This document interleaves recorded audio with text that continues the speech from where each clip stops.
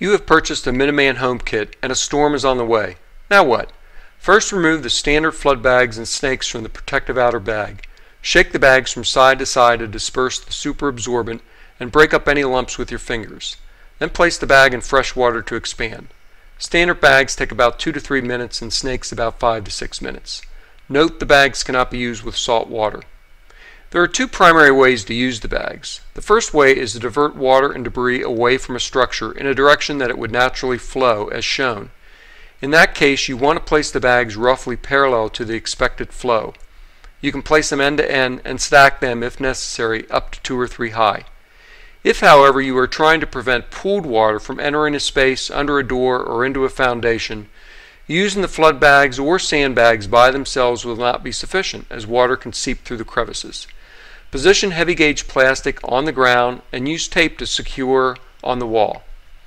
Position the sandbags as shown to hold the plastic in place. In this way you are creating a seal to help prevent water from entering the structure.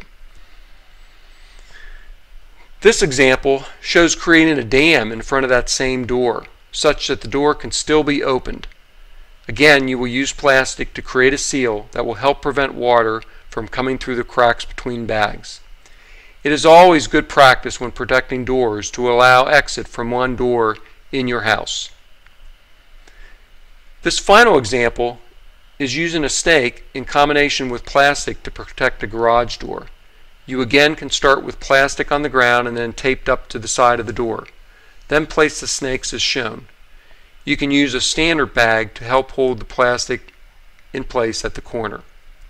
In all these examples, stacking more than about two or three high will require pyramid stacking rather than simply stacking them on top of one another as the wall will not be stable.